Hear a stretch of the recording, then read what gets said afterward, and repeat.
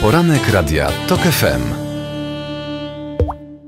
A, co rząd i y, prezydent Komorowski powinni zrobić w sprawie tablicy, która zniknęła z y, miejsca katastrofy w Smoleńsku? Chodzi o tablicę y, pamięci 96 Polaków y, na czele z prezydentem RP Lechem Kaczyńskim. Tam padały słowa o ludobójstwie. Ta tablica została zamieniona na dwujęzyczną, ale słowo ludobójstwo już zginęło, y, zniknęło.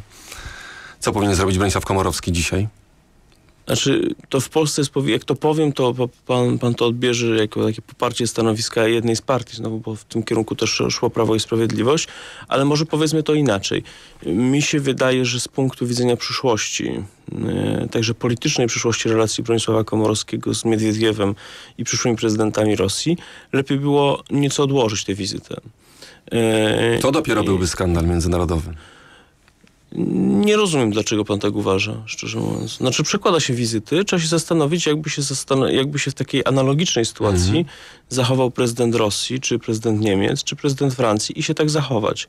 Wydaje mi się, że ponieważ były dwa dni na jakieś e, no, wyłagodzenie tej sytuacji, a ze strony rosyjskiej nie zdarzyło się nic takiego, co by dawało, jakby otwierało większą przestrzeń Bronisławowi Komorowskiemu, e, byłoby to najrozsądniejsze rozwiązanie.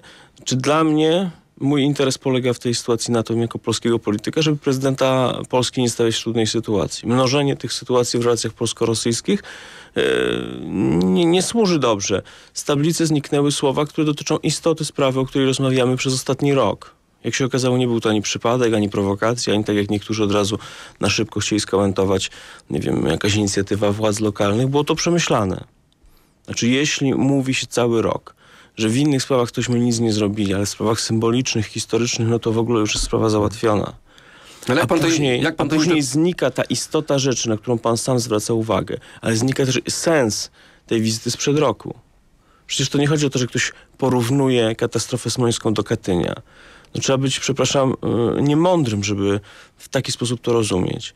Trzeba sobie wziąć stare teksty, na przykład z tygodnika Mazowszy, przypomina mi się taki tekst Jana Lityńskiego o Katyniu, zrozumieć, jakie znaczenie w polskiej historii ma Katyń, zrozumieć, jaki sens miała e, wyprawa sprzed roku, dlaczego taką wagę do tego przykładaliśmy.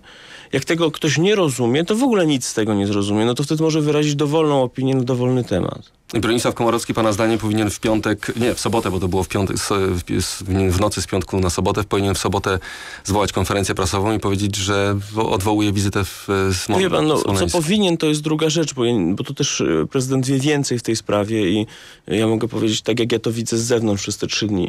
W piątek się wahałem, czy tam w sobotę, jakie, jaką mieć w tej sprawie opinię, ale widziałem, że brakło e, no, wyraźnego jakiegoś gestu ze strony rosyjskiej, który by dawał polskiemu prezydentowi możliwość działania. Em, Czy powinien powiedzieć, że rezygnuje? Pewnie nie. Są inne sposoby na załatwienie. Było te dwa dni, można było je wymyślić. Mówię panu, co ja bym doradził. Być może się w tej sprawie mylę, natomiast pozostawianie tej sprawy w ten sposób e, stwarza kolejne możliwości takie, że będziemy mieli sytuację, w której premier Polski Donald Tusk krytycznie wypowiada się o stosunkach polsko-rosyjskich. To już nie był pierwszy przypadek, to co było w ubiegłym roku. Prezydent Polski jedzie i właściwie jest postawiony w takiej sytuacji, że albo musi powiedzieć to, co powiedział w ubiegłym tygodniu dla Gazety Wyborczej, ale wtedy to jest e, no, nieprawdziwe, albo musi zmienić retorykę. To jest bardzo trudne, ponieważ przez rok tak napompowano, nakręcono retorykę, mm, że wszystko jest dobrze, że dzisiaj sami politycy, którzy to robili, padli tego ofiarą. Ale ja nie mam z tego żadnej radości, no w tym sensie, że ostatecznie to idzie na, na, na, na rachunek państwa i odpowiadam panu tak, jak mi się wydaje, że byłoby jednak najrozsądniej.